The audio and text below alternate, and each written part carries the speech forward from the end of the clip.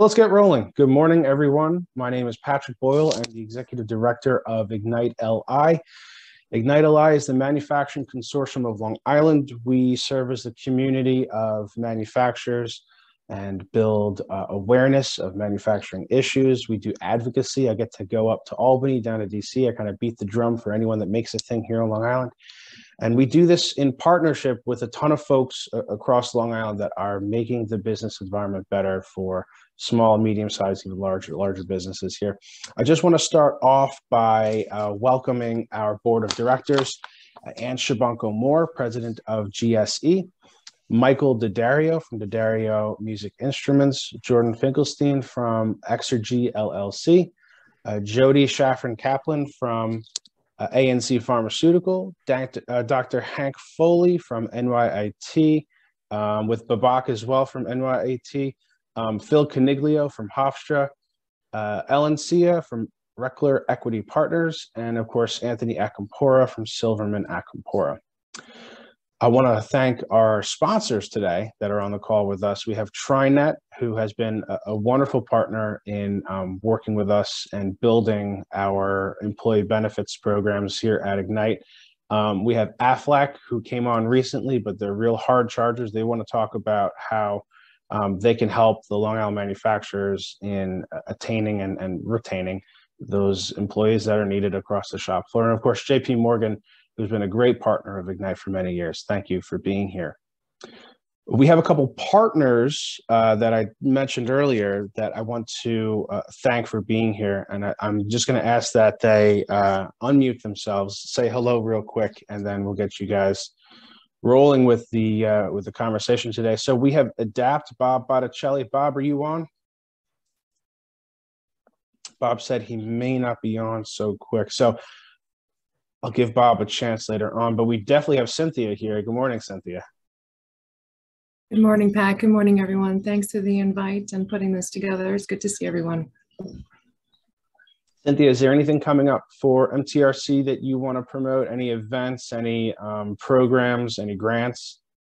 Well, so um, we have tomorrow, we are working, MTRC is a sponsor of the Long Island Food Council's Cybersecurity National uh, Trends event. Uh, it's an in-person event from 8.30 to 12, uh, but Michael Tucker is here, so I will let him talk about that.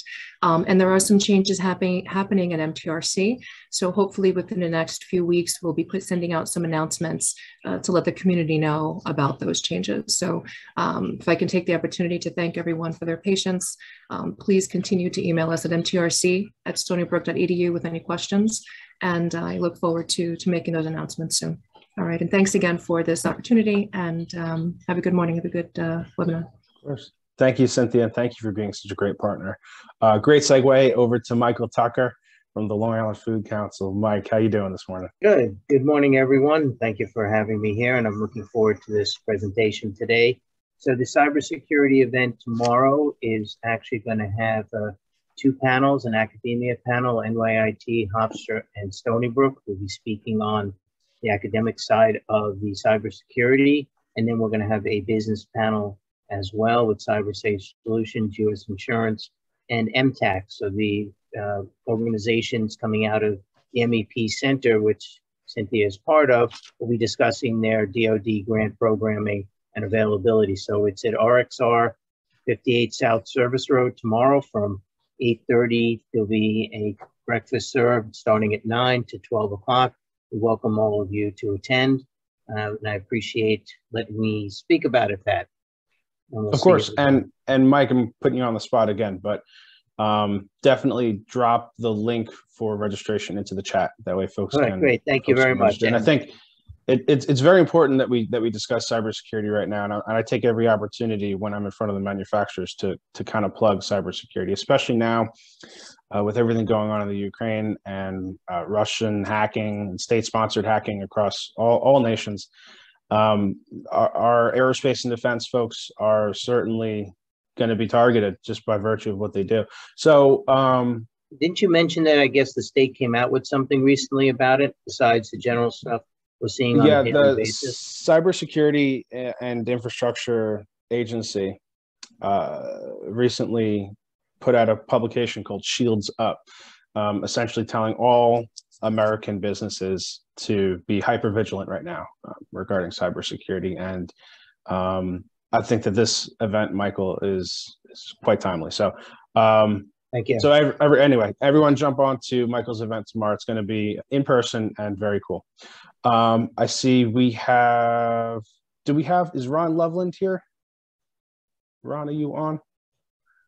Okay, well, uh, Ron is from uh, HIA LI. Um, they have the uh, trade show coming up that we want to plug, um, as well as part of that trade show is going to be the manufacturers um, pavilion. So I think that we should all be keyed into that. It's going to be a great opportunity to talk about Long Island manufacturing, and I hope to see all of you there. Okay, with that, uh, I also, yeah, we're just going to jump right into the context of the conversation today. Look, before COVID started, we went into COVID with over 8,000 help wanted positions across all manufacturing, all 11 different sectors of manufacturing. There were 8,000 uh, open positions that just had not been filled. Clearly, COVID made that tremendously worse. Um, we don't have data right now because everything's still in flux, but um, the the impact is is dramatic across all manufacturing. It's made worse by the Great Resignation, uh, combined with the silver tsunami or the gray wave, what, whichever one you like to call it.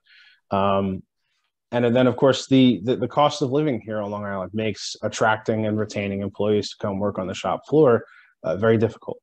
Um, we also have a, a well-known skilled labor shortage that's making, uh, again, attracting the uh, all important employees and with with the knowledge base to the shop floor. So I, I want to introduce our panel to kind of discuss ways that they are themselves dealing with the employee shortage, and then um, ways that these subject matter experts can help us understand uh, new methods and new best practices. So I want to start off, and I'm just going to run through the list real quick, and then I'll ask our first speaker to to present. But we have Derek Peterson, um, president of uh, Soter Technologies, who have uh, really innovated tons of products here on Long Island. They're really doing a wonderful job. Uh, we are then going to jump over to Jeffery Sacks, who is a benefit advisor at uh, AFLAC. And I think he also has Pat from AFLAC as well. Pat rules here. We have Elizabeth Ilfano, uh, executive compensation specialist at JP Morgan. And then the team from uh, TriNet. We have uh, Kristen and Claire, and they will uh, talk a little bit about what's what's going on with with TriNet and employee benefits. So I think we'll start off with Derek, who's going to kind of lead us into this conversation. Derek, are you on? I am on. I'm on my screen. I'm right next to you. Excellent. And so you're on mute there, Patrick. I muted myself. So why don't you tell us a little bit about um, what you guys do over there and how you're dealing with uh, employment challenges? Well, so I'm the founder and CEO of a company called Soter Technologies. And as I tell everybody, if you study your Greek mythology, you know that Soter is, comes from the Greek god Sartaris, which is a god of safety. So everything we like to do is, is making devices and sensors to keep people safe. Uh, we're headquartered here in Ronkonkoma, and we are an engineering and manufacturing firm. And our biggest product to date that we, in regards to keeping people safe, is a product that we call FlySense, and it's the world's first uh, vape detector, e-cigarette detector. And we've got this deployed in about um, 22 countries and almost 20,000 devices deployed right now. And we have a go at making devices here. Everything made here in New York, everything made in the United States, right here on Long Island and Ronkonkoma. And one of the things we like to try and do in regards to keeping uh, my staff engaged and not having a high, we have a very, very low turnover um, rate. And one of the things we, we try to do here at Soter, and again, we're not a, we're not a major big company. Uh, all in, we're probably about 60 of us. Um, but what we tend to try and do is make it still a family operated um, family business. Uh, and in beginning as a CEO, one of the things I've learned earlier on is that there has to be a humanistic side to you. If you're going to run any business, especially nowadays of COVID, coming out of COVID, people want to know that you care. No matter what rank they are in your organization, people definitely want to know that you care. And so we've learned early on from, from my senior management team and all the way down, everybody has to be approachable. And, and, and I always said, demonstrate you care and keep an open door. With the humanistic side out of the way, then we like to work on various perks we can offer people. And perks to come by and like working with people to um, get better training, better education. So we do offer tuition reimbursement. We do offer people to even get educated enough to leave my company. And I have no problem with that. If somebody tells me that they want to go in a different direction in their career path, I have no problem helping them achieve those goals. And and 90% of the time, they still stay with me, but they like the option that I'm willing to help them. We've also had, because of COVID, we had the Institute Flex Time where people can actually, we can work around their schedules just due to different family needs. Um, with COVID, you never know who's going to be sick, what family member is going to be sick. So we had to make sure we worked around that. We also offer then a 401k and a 401k match. And here's the key with that. When you have young people uh, in your organization, the young people really don't know understand the value of having 401k and even having a match. So therefore, we have to bring people in to teach them and train them. Look, do you really want to invest in this now in your 20s because you'll, you'll be happy when you're in your 50s and 60s that you did this. Um, as of today, I'm still paying 100% of healthcare insurance. I don't know how long I can keep that going on. I'm hoping that by luck of the draw, somebody's going to come up with a better health insurance policy plans because the, the rates are just skyrocketing. Another thing we like tend to do is people tend to gravitate towards, uh, believe it or not, food. We offer tons of food and lunches for everybody. And heck, you know, you give somebody a meal and they're really happy about that. You know, free lunch or dinner, you, you, you kind of buying your employees pretty easily there. We offer also American gift cards, gifts, American Express gift cards for people, for workers to take their family out to dinner. And they like that also. So dinner's on me, on the company for them to take their family out. We do little things also like we'll celebrate everybody's birthday for the given month. So we got everybody's birthdays. And so the month of January and then the month of March, we'll do a birthday celebration for all those birthdays. Uh, we also do holiday parties. We do a summer bash and we do a holiday party then the Christmas, uh, Hanukkah time. And people, we bring the families out and so forth. They love that. And then also, we, last thing we like to do is we shut down the organization from uh, December 23rd to January 2nd every year. And that's like a unwritten paid vacation for everybody. And everybody appreciates that. It's not in any of our books, but we've done it for the last seven years and people tend to really gravitate towards that. Patrick, I can keep going on, but I'll, I'll stop here. How long you want me to keep going? No, yeah, I think um, I think you said it all. Uh, you mentioned three words in the beginning in your intro that um, really jumped out at me: family, humanistic, and care. Uh, that's I think very important, and and unfortunately not uh, characteristics across all businesses. So, uh, and then the perks that you talked about the 401k, the healthcare, the food. Um, that that's huge, and, clearly you're, understanding um, the, the, the factors that motivate folks to be happy and, and to come to work. So um, I just uh, wanted to take this opportunity. Um, I have the chat open. If anybody has any questions during any of the presentations, pop them in the chat. Um, Derek, I, as always, thank you very much for being here. You're always uh, very supportive of Long Island's manufacturing uh, community. Um, so I'll, I'll, I'll, let you go, and then we'll jump over to the team from TriNet, uh, Kristen and Claire, to give their discussion. If you guys can bring yourselves off of mute, and let's all take this opportunity. If you're not talking, please put yourself on mute. And then the way that I have this set up um, as just a regular Zoom if you want to see just the speaker view, go up into your right hand corner, click view, and then hit speaker so that the folks that are presenting uh, appear larger on your screen. But yeah, I'll, I'll, I'll ask TriNet to jump on and uh, give us a rundown of what they're seeing across industry. Thanks so much, um, Patrick. My name is Kristen Russum. I'm a director of our HR strategy team over here, where we focus on supporting clients through a lot of these issues that Derek was so um, brilliantly pointing out. So we'll talk a little bit more about that. I've been in the in the HR business for in 20 something years and with TriNet for about eight. So we've seen a lot. Um, these last couple of years, frankly, as an organization and as HR professionals, it's been a bit of a roller coaster for us as well as all of our clients.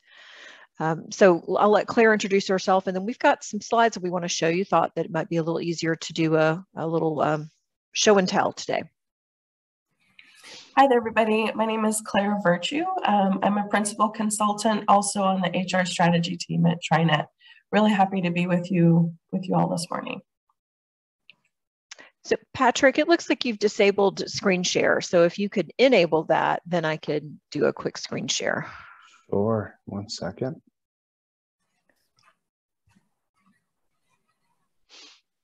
Okay.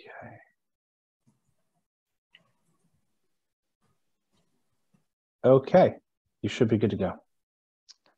All right, let's see.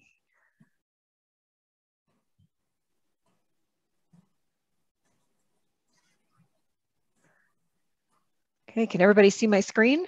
We can yep. see it. Beautiful. Well, so we've got, uh, we've been talking to a lot of clients um, about this, clients and, and then just other folks who are not clients about, you know, rethinking employment and, and how to attract and retain people. Just a little bit uh, about TriNet. Um, we are publicly traded. We've been in business more than 30 years. Um, as Claire and I both mentioned, we've been in the HR biz for quite a number of years. That's typically who we hire. We're supporting over 23,000 clients now and over 600,000 individual people that are working under the umbrella of TriNet and, of course, our new acquisition, Zenefits. We offer a full service of HR tailored solutions. So you'll see here that we do focus on, um, and we, we consider our manufacturing arm under this Main Street umbrella uh, towards the far right. We've got a couple of things that we wanted to talk about, just some workforce trends, uh, challenges, some key strategies that we found have been effective for our clients to start to bring in people and to keep their people, and then some specific takeaways for uh, this group. Uh, I'm going to echo a lot of what Derek's already talked about in terms of some trends that we've seen with our organizations. Uh, you know, this flexible work environment. And I, I do get in a manufacturing environment that having flexibility is not often the case. But what I think we need to be looking at, honestly, is just how you might be able to be flexible. Does that flexibility include maybe uh, moving to a four day, you know, four tens, or um, you know, allowing people to stagger some start times or having a little more flexibility with how they might utilize their PTO and or sick, you know, evaluating some of your policies and practices there. That humanization of the workforce um, for us it's it's almost the ante now. You can't not pay attention to diversity equity and inclusion. And how do you create an environment where people do feel welcome? They feel like they can bring their authentic self um, and what i want to point out here when we're talking about these trends is um, you know that this is something that's been around now since the the onset of the pandemic and as we think about the word trend, I want to sort of take a pause here and, and, articulate that while these are current trends, we're not seeing them go away anytime soon. So this will become our new norm, and we'll talk about different trends next year. Uh, employee well-being and you know, uh, again, Derek talked about 401k. I want to promote that well-being really is encompassing many dimensions of the employee, not only their health, um, but their financial health, their emotional health, their social health. You know, what does that community health look like? And how, as organizations, are you responsible for uh, sort of supporting those aspects of that, um, that whole person? And then lastly, the great resignation. And there's a lot of noise about that. We are seeing some staggering statistics in terms of the numbers of people that have voluntarily left their organization. Um, I think the number from the Bureau of Labor Statistics in December was you know upwards of 4 million people who voluntarily quit which is unprecedented levels and the bureau of labor statistics considered a voluntary quit as you know, obviously not a, a termination uh, that's initiated by the by the company, but those that have left voluntarily on their own. And so we'll think, you know, we'll talk through a little bit about what are some things that you can do to mitigate some of the, those resignation uh, numbers. Excellent. Yes. Um, and just to kind of start us out, um, there was a, a trend study done by Deloitte in 2021, manufacturing trends in particular, um, that says that 77% of manufacturers say that they will have ongoing difficulties in attracting and retaining workers. But what's what's also interesting, um, pulled from the same study, is that despite all of the challenges facing the manufacturing industry, including labor shortages, as mentioned, 86% of the manufacturing executives surveyed, um, they report that they are somewhat or very positive on business overall. And that is up from 63% in 2020. So overall, um, organizations are really looking towards progressive hiring solutions um, that give both candidates and hiring managers a very seamless, efficient, um, and effective uh, experience. So just popping to the next slide there, um, some ad additional statistics for you um, brought to you by Robert Half, which is a talent and consulting firm. Um, employers are really getting creative. How are they getting creative? Well, um, one obvious one, and we'll talk a little bit about this um, on the next slide, but 55% are increasing salaries. Um, that might be an obvious one, and it might not be feasible for all. So we're going to talk a bit about later alternatives to increasing salaries. But the trend is, in fact, that um, employers are doing that. 50% are offering remote options where possible. And what I would encourage um, manufacturing uh, industry to consider is it, it, traditionally the work is done on the shop floor, and certainly that is the case um, in many instances. But is it possible that some of the work could be done remotely? And providing those opportunities where where appropriate, 50% of the industry is doing so. 44% um, are providing signing bonuses to candidates to sweeten the deal. 41% are offering pay leave, and 31% are loosening their requirements when it comes to education, skills, and experience. So it really is a question um, that all of you uh, in the in the industry faces. What can you really do today to attract great talent? Candidates have so many options. So how how can you stand out? So, um, so let's let's think further about that, about how to attract great talent. Um, one of the first things to consider is looking beyond um, your current talent pools. How can you cast the widest net possible? Is there anywhere else that you can look for your talent that you aren't looking currently? And then moving quickly, so the experience that the employees um, receive, right, should be a positive candidate experience. And that's both from the very initial contact all the way to, to the job offer. This is somewhere you might consider leveraging automation, right, to streamline your recruiting and onboarding processes. Take a look at the, um, the recruiting tools that you're using um, are you leveraging every aspect of the tool that you're paying for?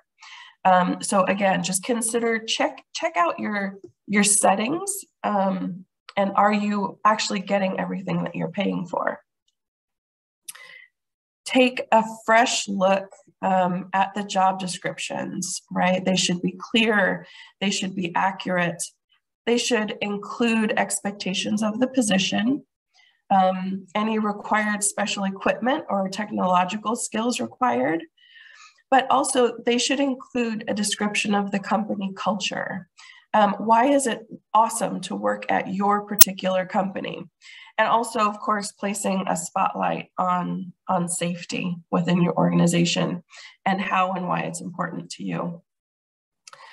Um, another thing that um, was recommended is how to kind of position your unique organization. Um, how can you spotlight your facility?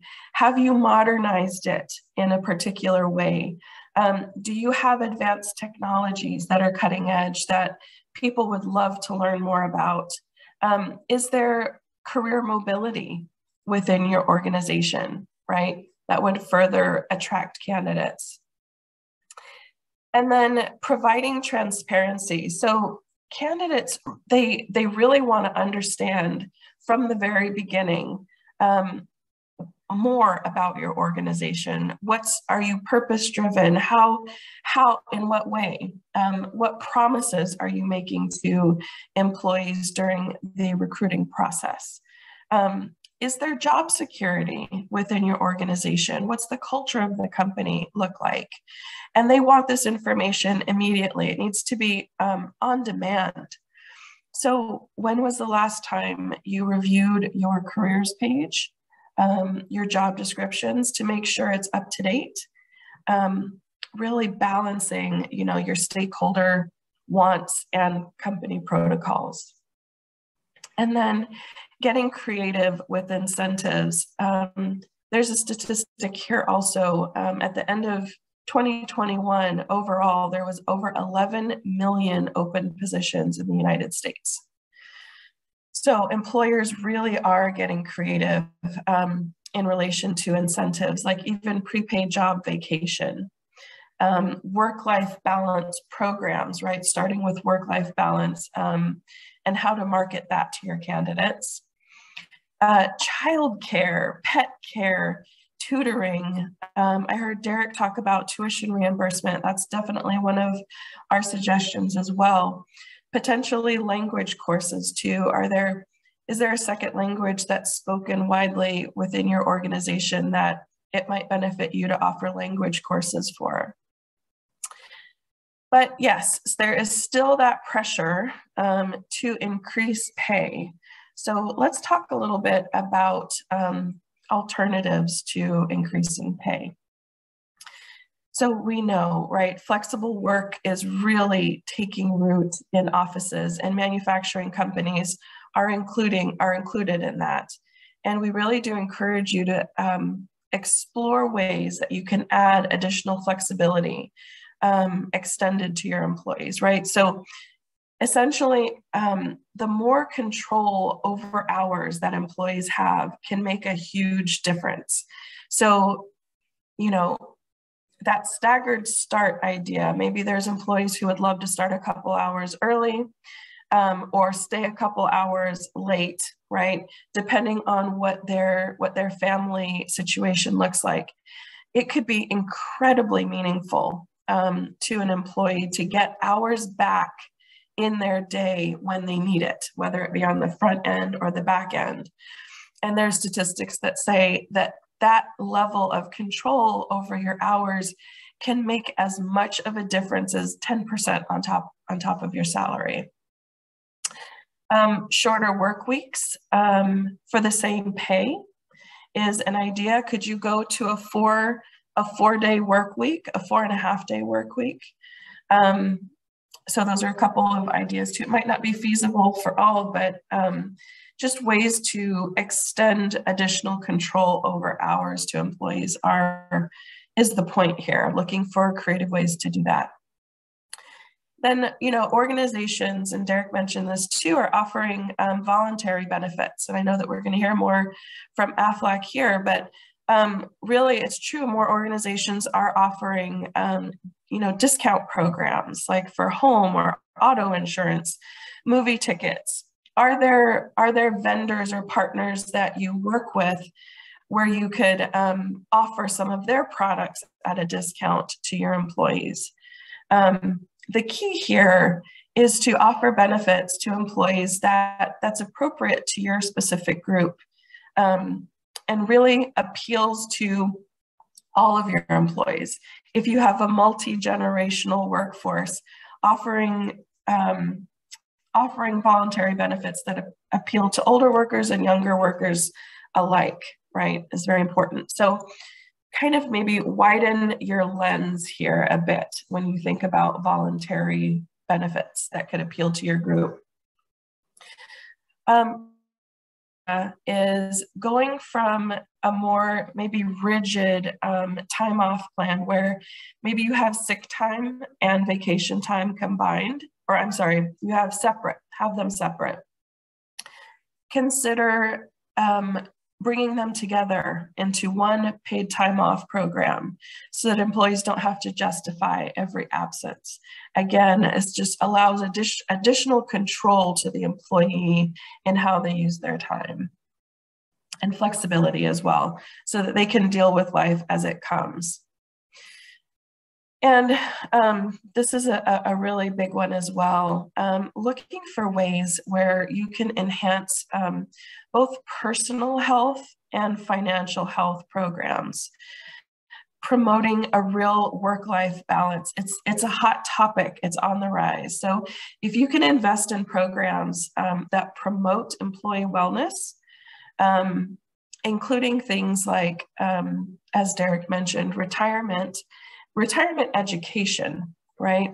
Perhaps your retirement company um, can come in and do a bit of a, a group education or offer um, one-on-one counseling to create that that greater sense of peace of mind um, from a financial perspective for employees so that they're they just feel more free um, at work um, anything that you can do around um, your employees who are facing student loan, college debt, um, options for elder care and aging parents, right? Um, things like that. Um, education around those items would help create that work-life balance that, that is so sought after. And then um, take a fresh look as well at advancement opportunities. Are there places that you can promote employees, um, giving them a goal to work towards? Um, employees will always, you know, work towards that type of advancement in the company. They will give more to your organization if they're working towards something like that. So those are a couple um, ideas for alternatives to raising pay. Um, let's talk a little bit about um, focusing on DE&I in the workplace. So um, that's diversity, equity, and inclusion.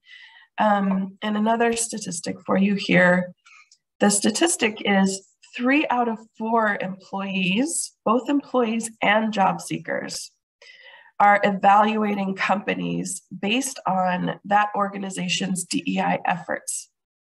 So you, you might have employees currently that are considering what your organization is doing from a DEI perspective. So you, you, you risk losing out to your competitors um, if you don't focus on DE&I.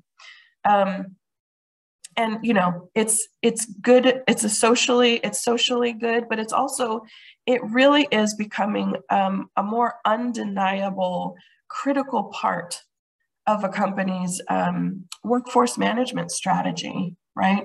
Particularly now when finding and keeping talent is so critical. So thinking about um, interviewing candidates and, and drawing candidates. So, so begin with the end in mind here, right? Establish a clear vision um, and measurable goals to attract a diverse talent. And when we say diverse, um, we mean the ability to attract just the widest talent pool possible. Are there job sites or networks that reach that unique, diverse audience? Um, look for those. Um, use inclusive language in your job postings and on your career pages. Um, have you created a some sort of diversity statement or a um, diversity purpose statement, or in other words, your promise. Have you formulated what your promise to your candidates and your employees are in relation to DE&I and your commitment to diversity? And then not only that, after you've created one, are you then advertising it? Is it on your careers page? Is it embossed in other places? Um, where you want to share that, that commitment or your promise to diversity. So another, in, uh, another idea here is really thinking about um, unconscious bias um, and interviewing with an eye to unconscious bias. And this is a tough one, right? Because unconscious bias is just that, it's unconscious. Um, but making a real effort to turn unconscious bias into conscious inclusion. And I'll give you um, a bit of an example here. Um, one example might be geographic location, right? maybe when you look at employees' resumes or applications, you're automatically excluding them because they live in a particular um, geographic location far from your office. You believe that the commute is just going to be too, too far. Perhaps you are missing out on a stellar employee, right? So that's just uh, that's one area that unconscious bias can can kind of creep in. So again, look back at your recruiting tools. Is there AI functionality within your recruiting tools, or could you purchase AI functionality that would, so there's this way that you can mask personal identifying information on resumes and applications. So it just takes it off the, it takes it off your radar entirely, right? Um, and that that's that is one way that organizations are are really finding success in using those AI-backed tools um, and predictive analytics um, to remove the hiring bias uh, in the process. And of course, training your teams, right? Make sure that they are they have that diversity training um, and they understand what the organization's um, goals are around diversity um, and what your promise is. It should really roll off the tongue for your hiring managers. And then don't forget to tell your candidates great stories. People love to hear great stories. That's um, we're all kind of built that way. Do you have an awesome coffee talk that you do on a regular basis? Um, have your employees formed some sort of employee resource group or affinity group that you want to talk about its success, right? So tell those, find and tell those great stories. And then um, remember to, to look for cultural add instead of cultural fit. So, so often, um, you know, being in HR for 20 plus years, um, cultural fit is really a way um, that sometimes we use to, to hire people who are just like us, right? Um, uh, they speak like us, dress like us, uh, and you're kind of automatically rejected if you don't make that cultural fit. So instead, look for cultural ad. Um, what would really bring a unique point of view uh, to your organization? When you when you extend that lens, you'll find that um, innovation is something that is a return on your investment there. Uh, market reach could be a return on your investment there. So yeah, focus on ways that you can you can find cultural adds to your organization instead of cultural fits. So let's turn the conversation over a little bit to onboarding. How can you provide exceptional experience for employees as they join your company? I think one of the, the important things that that I hope everyone here takes away from, we are seeing extreme velocity in the hiring. Uh, what that means, or I guess in exiting your, your organization, but what that means is also you're bringing in candidates into your organization. So really what we want to encourage here is how do you create some significant stickiness with those employees that you've brought in? And candidly, one of the things that we found when we're dealing with our clients is that the onboarding effort is really abysmal. um, there's not a lot of effort put into onboarding beyond just the rudimentary, hey, let's get these HR forms taken care of. Let's show somebody where, you know, where the restrooms are and how to do their job and, you know, what are the safety components of lockout, tagout, but we're not really really taking them through the journey of how do we create stickiness with our organization because remember one of the trends that we're seeing is humanization of the workforce and taking care of that person so a couple of things that we want to really try to encourage you to, to evaluate is 22% of turnover happens within the first 45 days. So while we recommend an onboarding path that may take upwards of six months, you're really, it's really, uh, really impactful for you to look at how do you create stickiness, especially in those first 30 to 60 days. Uh, create a sense of belonging from the start. You know, making sure you've arranged introductions, not just sticking your new hire in front of a machine and saying, go. Really, how do you connect them to other people in the organization? Now, I know that this is not as impactful for your group as it is for maybe nine to five workers, but one of the things and trends that we're seeing uh, with that population and granted you have some of those in your in your work too is that the social connection is missing and covid has created the separation. And so you might need to create some uh, an opportunities for people to develop those social connections. Um, implement that buddy system or a mentorship program. Maybe you've got an individual, and this speaks back to what Claire was mentioning about finding advancement opportunities um, having a mentor or making sure that you've identified somebody in your organization who wants to maybe step into leadership or move into a lead role or start to explore that avenue, that might be a great place for you to add some additional responsibility. And then encouraging interaction through technology. I know that that's a that's a tough one, but you know, how do you create opportunities for connection either through your internet, your intranet platform, or your IM messaging or uh, messaging boards. You know, so be very creative as to how you might look at some of those um, those aspects. Again, the takeaway here is create excitement and, and leverage that excitement for uh, an extended period of time in the onboarding. We've got a lovely onboarding journey map that you know we can send you, but this, what I want you to take away here is, um, you know, when we talk about an onboarding journey map, we've gone through and really had a planful approach to how to create an onboarding experience with your new hires. Notice that we on the right hand side, we you know look for that two to six month span. That may not be reasonable in your group. You need to look at what works, but we've got it broken down into what are you doing before they even get in the door?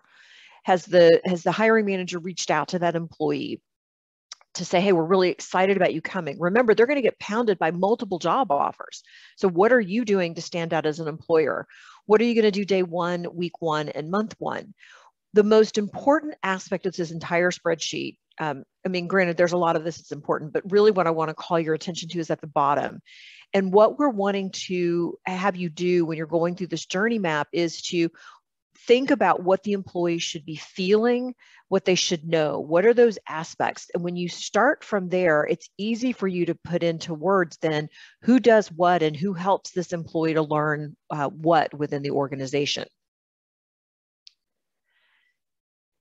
And then we also want to solicit feedback. So for us to think about getting feedback in a myriad of, of, ways, a lot of times we're uncomfortable asking feedback. And I see this repeatedly with my experiences with clients. They don't necessarily want to ask the question because they're like, well, what, what do I do if they tell me something I can't control or I can't fix or we won't control it or fix it? And you know, the, the idea here is employees want to be heard. Remember that humanization. They want to feel like they count, even if you can't move on the needle on some aspects of an employee's ask, at least listening to them and, and asking those questions. So we're recommending that you look at some sort of assessment, whether it's you know online, whether you do pulse surveys, and pulse surveys are kind of an abbreviated version of an employee engagement survey those types of exercises can help you to identify areas where you can really start to fine tune what's going on. Hey, do, do employees feel there's a collaborative environment? Do they feel respect for their leadership? Do they feel like communication is sufficient? Those are all areas that you can plug. And really, I know that we, we spent quite a bit of time on compensation, but when we think about that way to retain people, often it's not cost related. It's how do you connect your leaders with their people? And I would imagine that the majority of folks that are on this call already have a lot of these sensitivities and, and ideas in their head. How do you spread that word upwards, laterally, downwards throughout your entire organization so that everybody gets the same message? So what we recommend is you invest in development. Yeah, absolutely. So, and as it turns out, investing in development isn't just good for business. It's it's really important to employees as well. Um, there was a, a LinkedIn study um, that says that 94% of employees say that they would stay longer at a company that invested in their development. So let's look though in particular, what are manufacturing companies um, doing to train and equip their employees to advance? Um, we pulled some, some um, upskilling approaches here uh, so that you could see, but so yeah, to better understand how, how manufacturers are tackling this upskilling challenge, the Manufacturers Institute, that's who it was, they conducted a survey um, first of its kind um, of their members to learn how they're training new workers and upskilling their current workforce. So here's the results, right? So you can see at the top, there is um, a lot of job related technical skills training cross-functional training, um, new technology or equipment training, all helps um, to improve performance of workers in their day-to-day -day tasks. Um, but respondents also cited um, training programs for growth, employee growth, personally and professionally. Um, so potentially memberships, potentially professional events, um, leadership development, soft skills development like communications training or um, PowerPoint training, things like that, um, formal mentoring programs, um, emotional intelligence training. So very interesting. So the main takeaways here is that um, you know manufacturing are they're taking a variety of approaches to build a stronger talent pipeline for the future, both by attracting candidates and also upskilling um, their current employees. And good people will stay and they'll perform if they see a role for themselves, right? And if they see that it will move their career forward. So let's wrap up with a few key takeaways, Kristen. Well, hopefully it wasn't all doom and gloom and you're you're getting some tidbits here. The the couple things that we want to convey are make sure that your your managers connect to their employees on a human level. Ask about how their weekend was. Understand what kids are in you know in what sports um, realize that these workforce trends require some significant bold moves. And it doesn't mean that you, you once you've committed to something that you can't pull back and go gosh okay that didn't work. That's okay. That's that agile approach. That's the the iterative process thinking that says hey we tried this. It didn't really have the impact that we were looking for. Um, so let's pull back and do something else you know claire spoke really eloquently on dei and if you haven't invested in dei coming up with that purpose statement looking at how to embed that absolutely start your efforts there I will give you the little caveat here that says, but don't just pay lip service to DEI. If you're going to invest in some DEI initiatives, see it all the way through. Make sure you're listening to all voices. Doesn't mean you have to do things about it, but you are having some listening that's built in.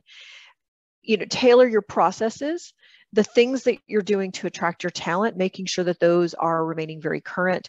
And that iterative process, we're talking about progress, not perfection. This is a journey. Uh, what's that expression where, you know, it's, this is a marathon. So we're all in this together, but you need to figure out ways to make your organization shine we've got a couple of things that we're, we, would love to make sure that we get in your hands. If you're interested in our recruiting or onboarding GE guide, we've got some great materials there. We've got an onboarding checklist of things that you need to be considering as you're looking at your onboarding. And then if you want a copy of this journey map template, definitely would recommend it's a great tool to start to build out what that onboarding exercise looks like for your group. You can reach out to Kathryn Wood um, at this contact, kathryn.wood at trinet.com, and uh, she'd be happy to get you that information. So thank you, Patrick. Well, thank you so much for being here. And it certainly wasn't all doom and gloom. um, that was wonderful. And, and I was very happy to see early on you mentioned that um, what was the, the, the statistic was something in regards to um, even though manufacturers have so many open positions, uh, they're still very optimistic about. Mm-hmm. And I, I, I could say on behalf of a guy that talks to manufacturers all day long, um, they certainly are optimistic. Um, I did want to. Claire mentioned something. She mentioned two things that that really struck a nerve with me. Not a nerve, but a chord. Uh, language courses. Um, mm. Long Island has one of the most diverse populations uh, across the globe. Um, in fact, what was the Queens? Queens, New York has, has the most diverse population across the globe. So um, we have a lot of different uh, cultures uh, on the shop floor. Um, the Workforce Development Institute, which is a really great partner of Ignite, and quite frankly, they're doing really great work across the state. They offer a grant for um, English as a second language um, for a number of different programs. They run it through the local community colleges. So let's chat about that if that's something that's on your mind. Now, um, speaking of WDI, uh, Suffolk County Labor Commissioner Rosalie Drago, who used to run WDI County Long Island, always mentions to me um, when you're having these discussions on onboarding and hiring, you have to mention the fact that um, job postings across the board, sometime, well, really across the board, um, limit uh, candidates based off of a bachelor's degree. And we have to reassess um, on the job posting. And, and, Claire actually mentioned this. We have to reassess the job posting in, in its entirety, but we have to reassess do these candidates really need that bachelor's degree to be successful in this position?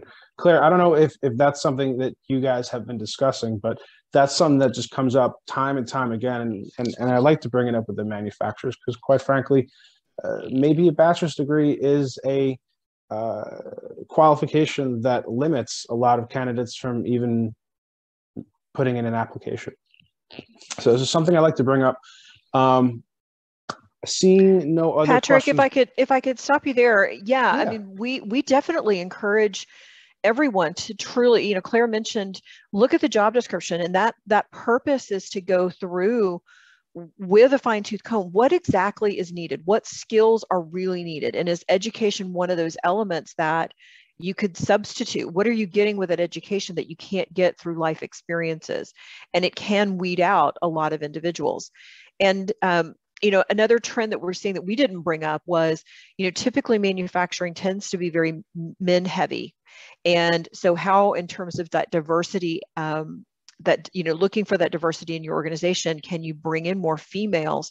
Statistically women are less likely to apply for a job unless they meet every criteria in a job posting. So if you've added a bachelor's degree as an absolute requirement you might find men even without the bachelor's who would apply but a lot of women will not. So even that subtlety which is that that is that dei subtleness that really requires a, a fine-tooth comb to kind of go through and say is that required but thank you patrick that's a great call out for this particular industry of course all right so uh, seeing no other questions but lots of great feedback in the comment section um, I'm going to jump over to um, who do we have next? We're doing the JP Morgan folks. So we have Chris and Elizabeth. If you guys can take yourselves off of mute and uh, jump in here, and then we'll finish up with the uh, with the team from Aflac.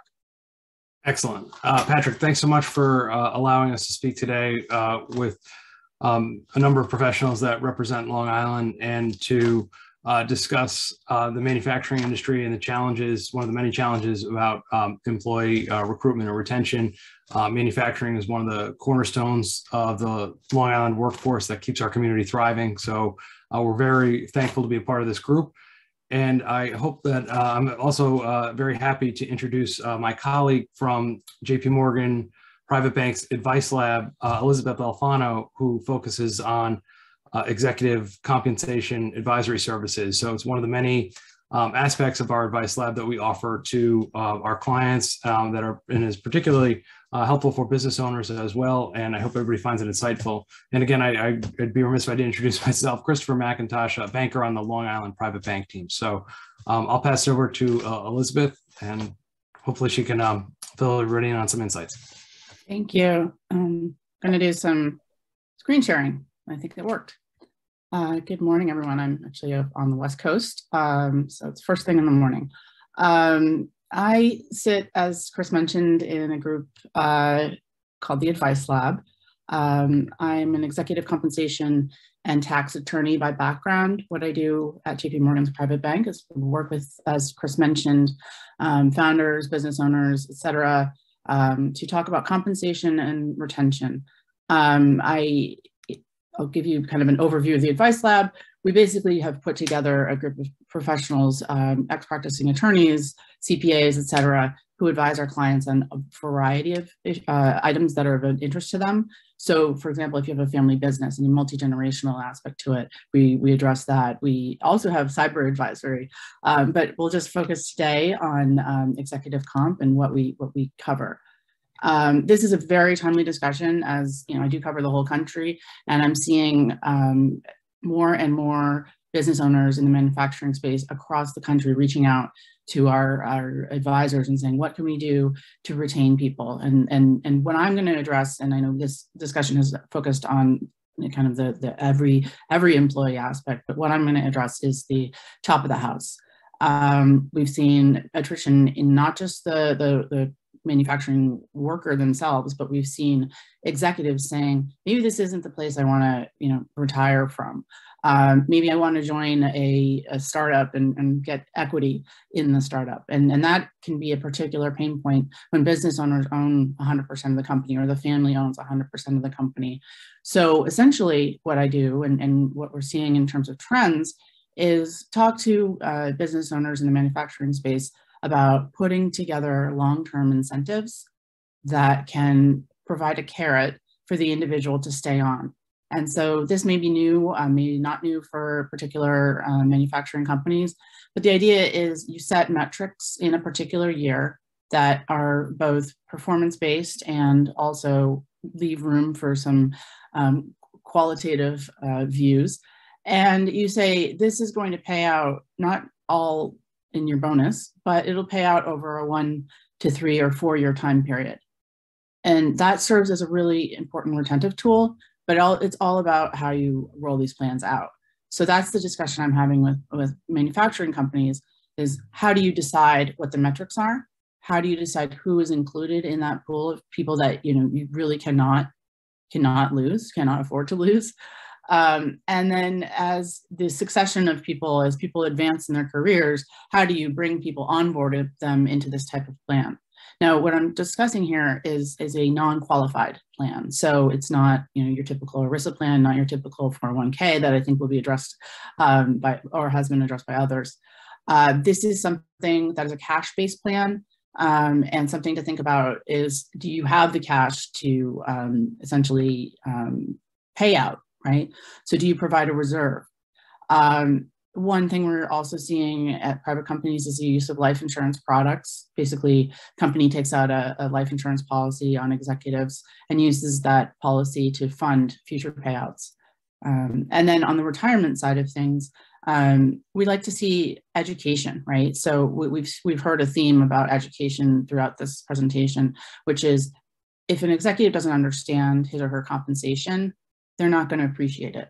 And so um, as an employer, it's sometimes difficult to you know, have that conversation and frankly it could create a conflict of interest.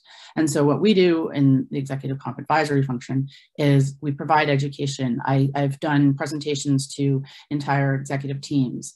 Um, I've done presentations to entire companies on what does compensation mean to me personally and how does it fit into my uh, wealth plan, right, my overall plan. Um, I, I do want to say it's not exclusively for you know the private banking clients. Um, we you know we're J.P. Morgan Chase.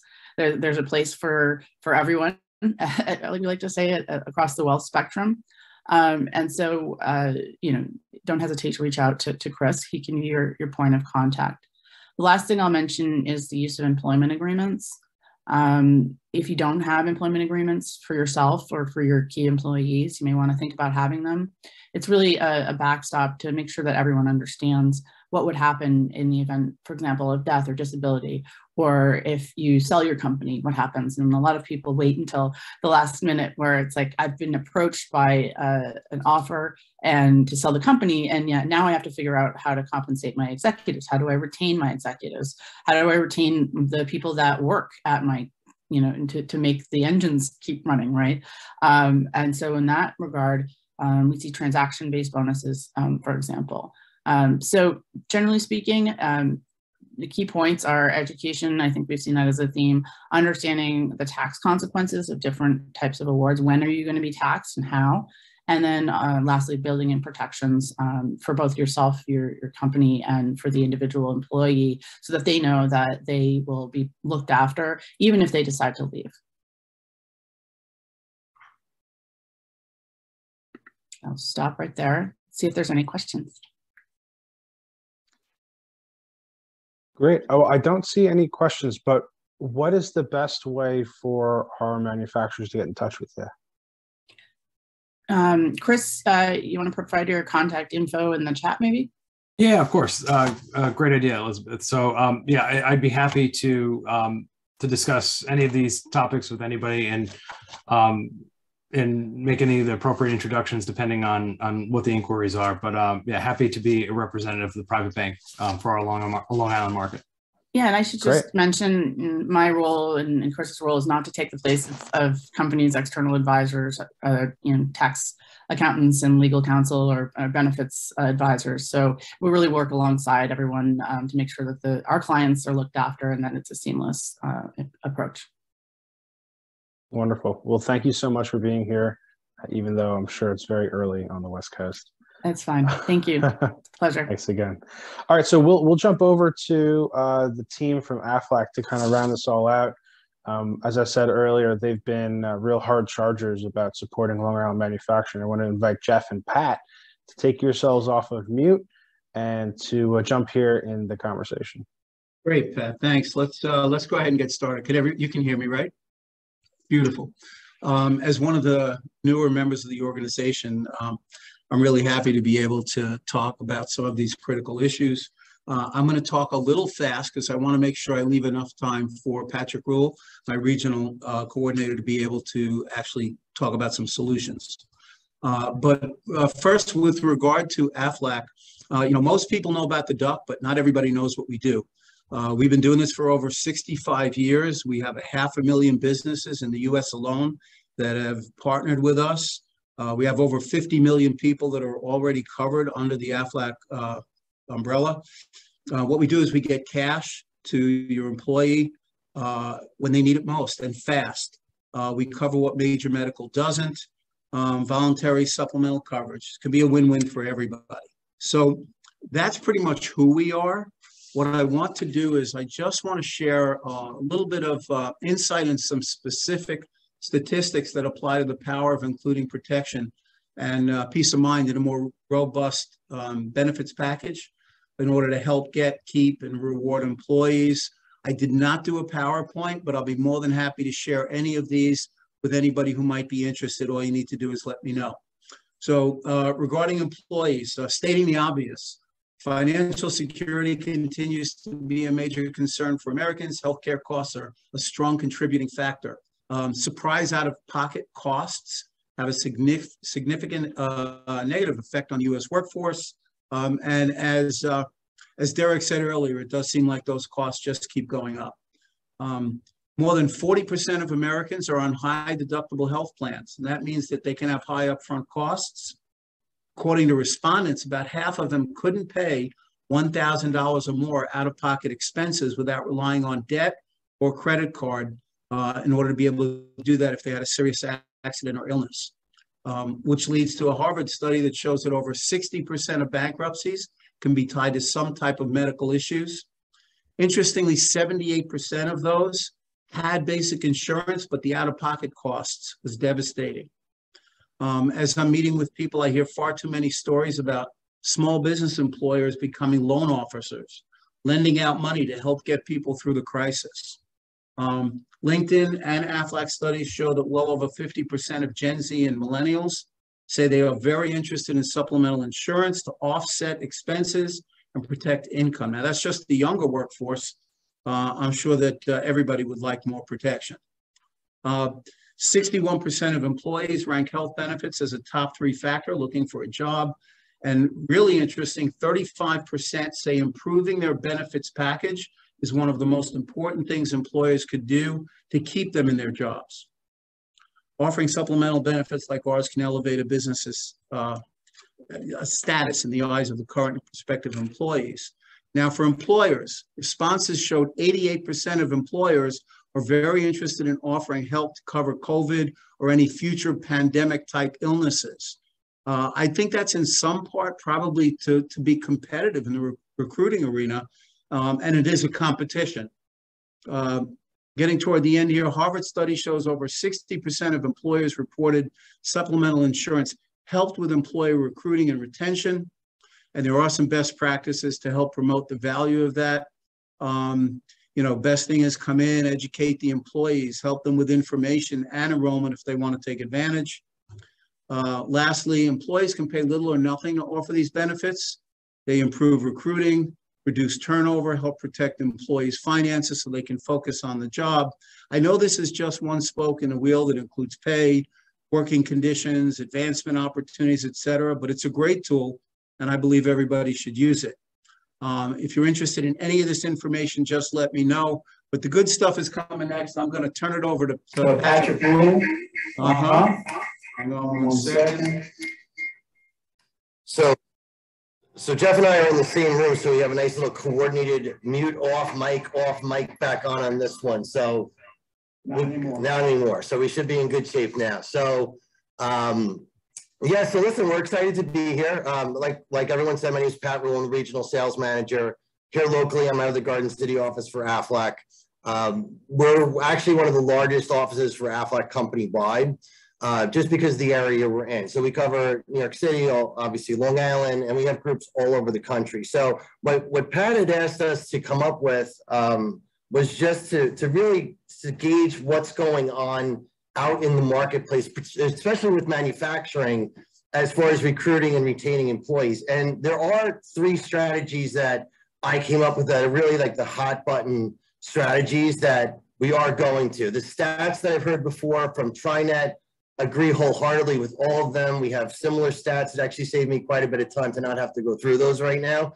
Um, but that is what's going on. But ultimately, the bottom line, and I think the elephant in the room is that when someone's looking for a job, there's there's two main questions. Question one is compensation, right? And how much am I going to get paid? And question two is benefits. So the question one of compensation, I think where one stat I think trying to mention that 55% of employers were increasing pay to be able to attract and, and recruit people right now and even retain people. And we've seen that across the board, right? You've seen Amazon go to $15 minimum wage. And we're experiencing here too on our hiring practice as well.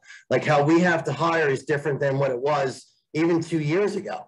So uh, we've all been through it, but I think it's at a point or it gets to a point where that's not really feasible to keep increasing wages as you go. So there are strategies that we deploy uh, that always have helped with it. And there's newer strategies that we're seeing trends on. And that's all I'm going to go over. So I don't want this to come across like a sales pitch of any kind, but this is what's going on in the marketplace in general. Uh, I'm going to share some slides here as well. Jeff, you're back off mute. Okay. All right. So um, Jeff mentioned a lot of our, our information on background on Aflac, but that, like I mentioned, that question one is regarding compensation, right? It's the first thing everyone asks when they're looking for a job is how much am I going to make? Question two, though, is always benefit related.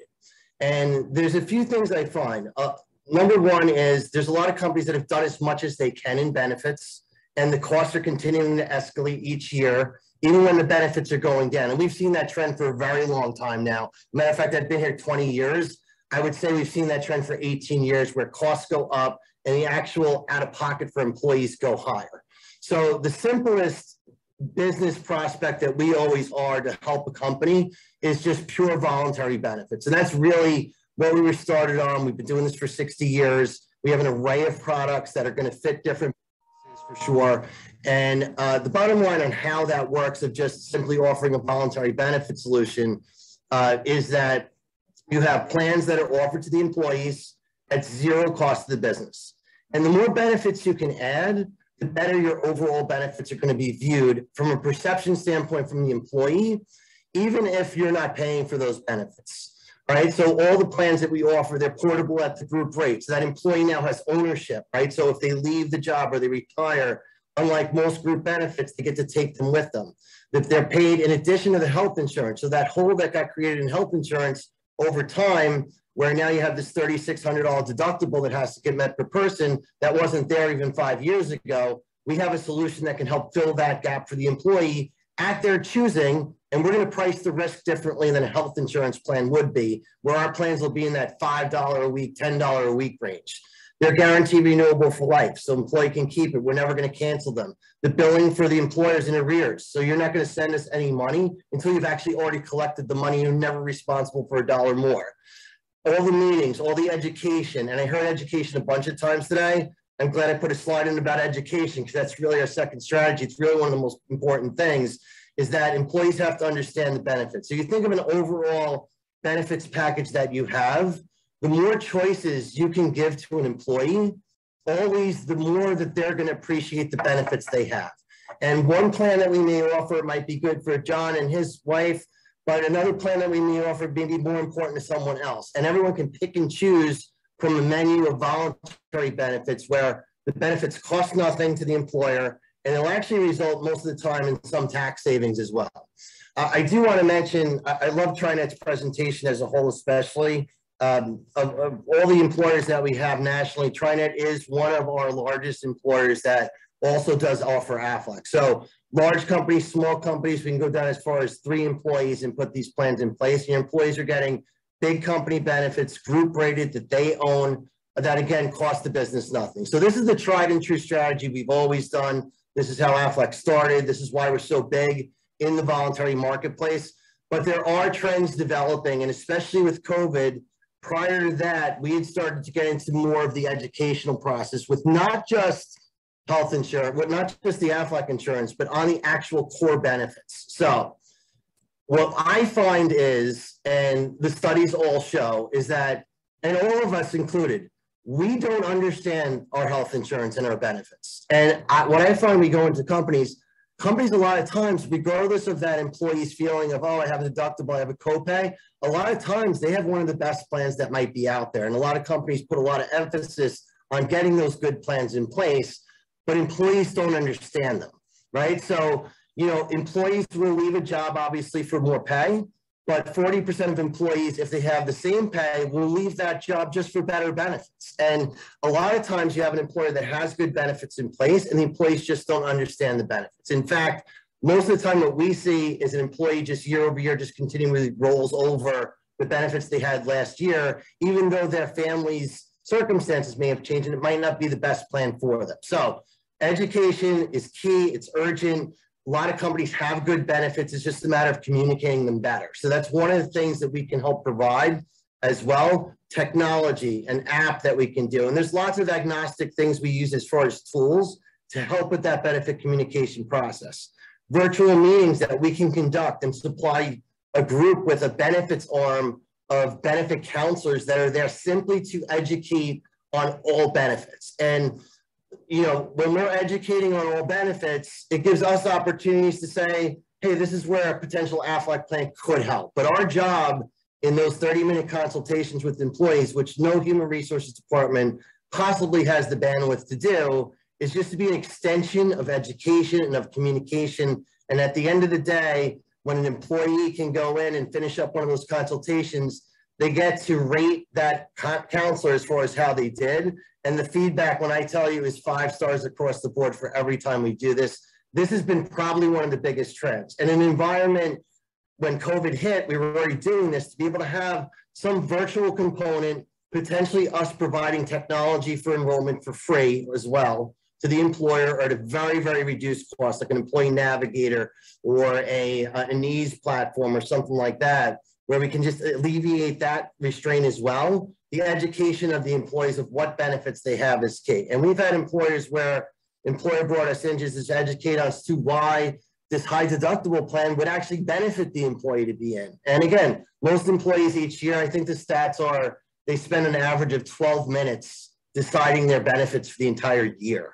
You know, we spend more time going on Amazon and comparing pillows uh, when we're buying them uh, than we do on benefits. And it's just the truth, right? And people just don't understand things. So just having an employee have a better understanding of what benefits are currently in place, regardless of what they buy, don't buy, or what they end up in, employees end up appreciative of the effort. Uh, and that's probably the biggest trend we have, especially in larger groups. And that takes coordination with that broker, with that employee benefit consultant that you're working with now, that we partner with to provide that education process too. We set up a call center. We could set up, you know, internet-based, kind of web-based, virtual, face-to-face meetings. We could do it on site. It's really a matter of how the business wants to do it, what works best, for sure. And the third trend that we're seeing, and this is to me started a few years ago, but now in the last 12 months has been something that's because of the tightening job market and because of the the difficulty for employ, employers to get people and can't raise more wages is what we've seen more of an employer uh, paid option to our same benefit. So, you know, I always say, like, if you imagine this for a second, if if any employer called a meeting, and that would be including me, I brought everyone in the conference room, like, hey, listen, great, great news, everybody. Everybody, today we're going to give you a 17 cent per hour raise there's no employee on earth that's going out of the room and calling their spouse and celebrating that night with a nice steak dinner. But what you can do on a benefit like this is you can provide that 17 cents per hour wage, which that 17 cents an hour is not meaningful to the employee, number one. And it's also, even if it's a higher number than that, that money's just gone as soon as it, it's received. You could provide a benefit such as an accident plan, such as a hospital indemnity plan, that if the employee does get sick, hurt, they're covered as something, and you're providing that at a 17 cents per hour wage. So we'd call it more of a hybrid model uh, where an employer can pick a, an option to pay for. Uh, an employer can also, you know, do some sort of a defined number that they want to pay for, where we want to pay five dollars per month, or ten dollars per month, or twenty-five dollars per month, and then that meeting becomes, hey, everybody, listen, get in the conference room. I decided I spoke to Aflac. This is great benefit. Uh, and it doesn't have to be Aflac, right? It could be any type of voluntary benefit. I've decided to provide this to you for free at no cost, just as a thank you for working here. And here's what the benefits are. And the cost of that employer is as low as 17 cents per hour, essentially. Uh, and that's been a big trend. We've also used this strategy uh, to actually migrate employees from one plan into another plan, for example. So um, we have a group that's a, a, large group out of Wisconsin. The broker brought us in on just an example that uh, had employees on a very old, uh, archaic kind of old PPO Empire plan that actually made no sense based on the cost that they were paying for to be in it anymore. But people are resistant to change, and all they hear is high deductible plan. That's all they're hearing from the employer, even though the employer's funding HSA and the plan's better and they pay nothing for the benefit. So our job in that group was to educate on, hey, this old plan you have is costing you this, the new plan would cost you this, and every employee that migrated over, the employer actually paid for both an accident plan and a hospital plan, which actually mitigated that out-of-pocket risk to begin with, and the employees were better off as a result of it. And the savings for that employer of a couple hundred employees was $200 per employee per month. And then being able, being able to pre-tax that as well, you ended up with additional tax savings for that employer at the same time. So, you know, real simple summary, the three main strategies. Strategy one is one we've always deployed, whether it's Aflac or another carrier, it really doesn't matter. The more voluntary things you can put in place and more choices you can provide to an, to an employee, the better their view of the benefit package is. And again, that's not costing you anything. And if it's done pre-tax, you can end up with tax savings as the employer. Uh, number two, which is really critical, is the education. So however you do that, uh, educating on the benefits is important. I mean, we've been doing these now, thousands and thousands of employees, and it's essentially the same in every group. Just people don't understand what they have. They don't understand what a copay is and a deductible or co-insurance. And just even to clarify those things, people feel better about what they have. And the fact is, most employers have good benefits in place, especially in manufacturing. It's a matter of being able to communicate to that to the employees as opposed to communicating, you know, the $2,000 bill that they got from the ambulance that they had to take. Uh, and again, the last thing, more of a trend uh, that we're seeing, large and small employer, especially related to attracting and retaining employees is, listen, I can't pay them more money at this point. So how, what else can I provide uh, that gives them a benefit uh, that doesn't cost me you know, $50,000 uh, a year. And, and, this is one option here where you can take a very small defined amount of money, you know, provided as a benefit, whether it's in an accident or one of these other plans, or maybe it's a life insurance product that you can get them where everyone's covered by something and then they can up the level from there. That's another big trend we're seeing as well. Uh, but it, equates to that, hey, here's 17 cents an hour, which is meaningless to an employee, uh, but a free benefit, which can help their family out in the event of something uh, is a powerful thing from an employer standpoint. All right, so I mean that's really it for that's really it for me. Those are our three concrete strategies we know work. Uh, whether it's the straight voluntary, I think the education is the trickier one that uh, most businesses need some sort of partner with, and I think that as things have gone into platform enrollment, uh, I think the education is getting lost a little bit more and more. And then, you know, finally, like I said, that defined contribution strategy, whether it's to move people from one plan to or to another, or whether it's simply to just provide more without having to break the bank as far as compensation goes. Awesome. Well, thank you so much, Pat and Jeff, for being here. Um, uh, you know, something you guys brought up. Oh, I just wanted to also add, Jeff, what's the best way for our members to get in touch with you? Best way is probably to reach out by phone, but why don't I go ahead and put uh, the information in the chat as well? Great, that that would be wonderful. All right, thanks, guys. And now, so, so Pat, you kept, you mentioned a couple times education, um, and I think that education is is really a very important part of uh, keeping and retaining employees. Um, I just wanted to to bring on Ignite LI's uh, apprenticeship director, Michael Todisco because that that education portion is is really quite critical. And thank you, Pat, for bringing it up. Uh, Mike has been advancing our apprenticeship program, which is bringing education to uh, manufacturing shop floors across Long Island, across 11 different sectors of manufacturing. Um, and, and, it's really designed, it's quite unique.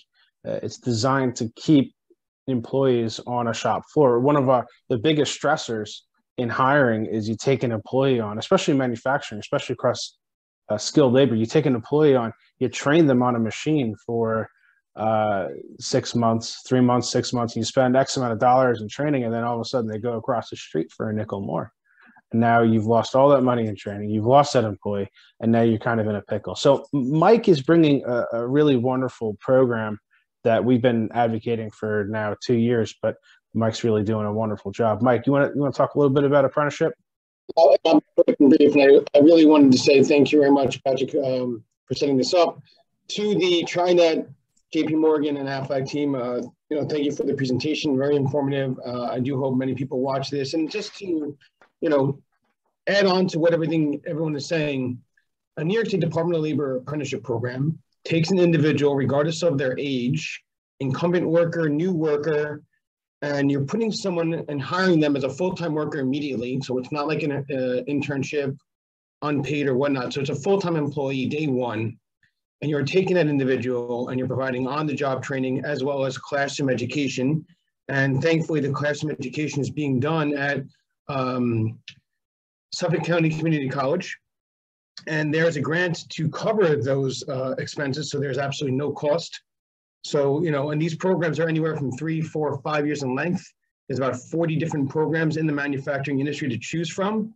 So um, it really just encompasses everything you guys had to say. But just to let everyone know, and I obviously would love to talk to anyone at AFLAC, JP Morgan, or TriNet about apprenticeship programs, because the more, that's the biggest thing is we just don't know they exist. And when you realize that they can just add and enforce everything that you're trying to bring to these employers, it's just a win-win across the board. But that really is, you know, I just wanted to share with everyone an apprenticeship program. New York State Department of Labor apprenticeship program is the most formalized, structured form of training to date. And between the local, state, and federal funding that is available to them, it's a very cost-effective way of growing your workforce. So I just really wanted to share that with everyone. I didn't want to take up too much time. But I really wanted to thank you guys for being here. It was very informative. Thank you. Thanks for all that you do, Mike.